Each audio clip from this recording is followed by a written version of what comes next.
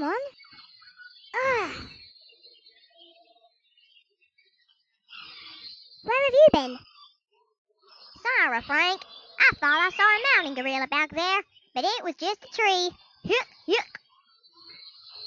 Hey, look. There's a mountain gorilla. Let's shoot it.